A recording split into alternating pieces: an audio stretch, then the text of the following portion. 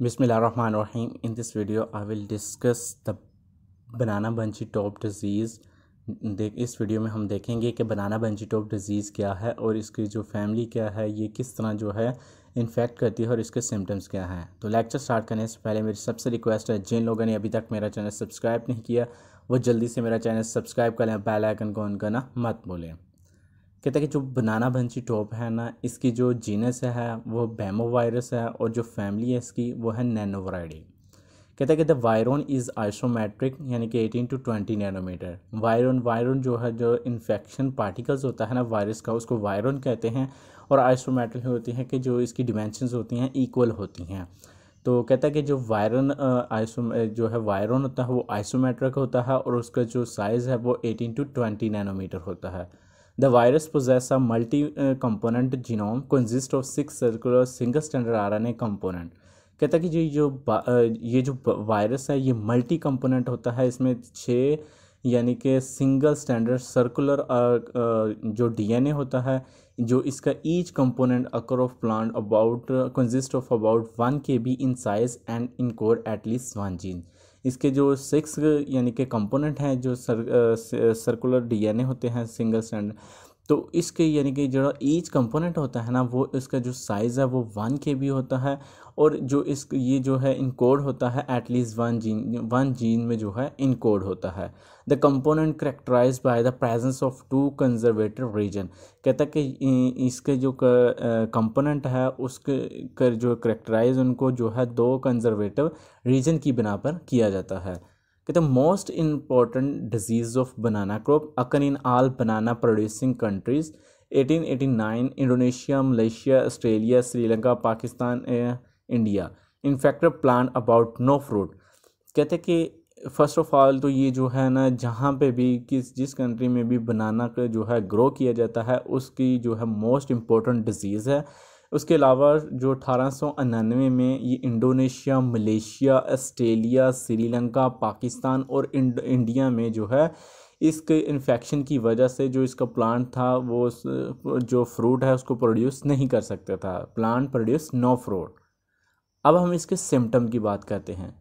First of all कहता है, जो फ़र्स्ट सिम्टम है, इसमें dark green streak seen on the petioles and vein of leaves looking against light कहता है कि जो तो ग्रीन इसका जो लीव होता है, ये पेस्टियोल के ऊपर, इसमें जो है ना ग्रीन स्ट्रीक्स यानी ग्रीन लाइंस जो है ना नज़र आती हैं और जो वेन होती है ना, जब न्यू पत्ता, यानी कि न्यू पत्ता निकलता है तो उसकी जो वेन्स होती हैं, उसको हम जो है looking gaze the light light क्या करके हम ऐसे आगे रख के तो उसको देख सकते हैं, उसमें से लाइट नज़र गुजर सकती है।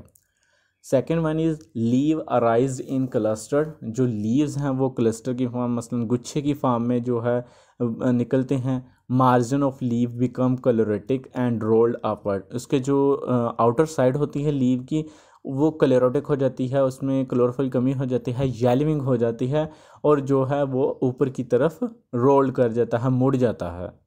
तो third one is top of plant become narrow जो प्लांट का टॉप है वो छोटा हो जाता है नैरो हो जाता है upright and closer appearings bunching यानी कि वो फिर ऐसे क्लोज हो जाता है और जो है बंची शो करता है। Plant show stunted growth inflorescence fail to emerge कहता है कि फिर प्लांट जो है वो स्टंटेड ग्रो शो करता है, उसकी ग्रो, जो है वो छोटे रह जाते हैं साइज़ में ठीक है, और उसके जो फ्लोरिसेंस होता है वो यानी कि इमर्ज नहीं हो पाता फेल हो जाता है, जिसकी वजह से वो फ़ूड जो है प्रोड्यूस नहीं कर पाता। अब इसकी अगर डिज़ीज़ साइकिल की बात करें तो इसका जो वेक्टर है वो बनाना ब्लैक एफर्ड है ठीक है? और इसको, ये इस वेक्टर के अलावा जो हम प्रोपोगेटिंग मटेरियल्स होते हैं, ठीक है? जैसे कि rhizome rhizomes suckers tissue culture meristems वगैरह होते हैं, इनकी वजह से भी जो है ट्रांसफ़र हो सकता है। एफर्ड कब इन्फेक्टिव होता है? कहता है कि जब वो afford feed seventeen hours to become infective कहता है कि जब जो एफर्ड है वो सतारह घंटे जो है यानी कि फ़ीड करता रहेगा, तब जाके जो है वो इन्फेक्टिव होता है। अगर एपिडीमियोलॉजी की बात करें तो एपिडीमियोलॉजी का मतलब होता है कि काज के इसके लिए फेवरेबल टेम्परेचर क्या है रिलेटिव ह्यूमिडिटी क्या होनी चाहिए। तो कहता है कि 18 से 20 सेंटीग्रेड टेम्परेचर और 41 से 84 रिलेटिव ह्यूमिडिटी यानी कि जब जो टम्परेचर है वो 18 से 20 सेंटीग्रेड और जो रिलेटिव ह्यूमिडिटी है 41 से 84 होगी, उस वक्त जाके ये जो है डिज़ीज़ फेवरेबल होगी कंडीशन इसको फेवरेबल मिलेगी। अब सबसे लास्ट में हम इसकी मैनेजमेंट की बात करते हैं। First of all quarantine measures यानी कि हमें यूज़ करने चाहिए। Use of free propagating material जैसा कि हमने पहले बताया कि ये जो डिज़ीज़ है, ये स्प्रेड हो सकती है जो प्रोपोगेटिंग मटेरियल्स हैं, ठीक है? तो इसको भी हमने जो प्रोपोगेटिंग मटेरियल यूज़ करने हैं, वो फ्री होने वायरस होने चाहिए। Locating new planting away from the old locating new planting plantation away from the old कहता है कि हमने जो न्यू प्लांटेशन करनी है, बनाना की वो जो पुराने प्लांट हैं, उनसे थोड़ा सा दूर कर रही हैं। Destroying all volunteer banana plants जो बनाना के प्लांट्स हैं वॉल्टियर प्लांट्स हैं, मसलन स्पॉयल हो गए हैं उनको डिस्ट्रॉय कर देना है, ख़त्म कर देना है। Uprooting and burning of infected plant जो अपरूटिंग या फिर उस प्लांट को अपरूट कर देना, उखाड़ देना है, या फिर उसको बर्न कर देना है, जो इन्फेक्टेड प्लांट होते हैं।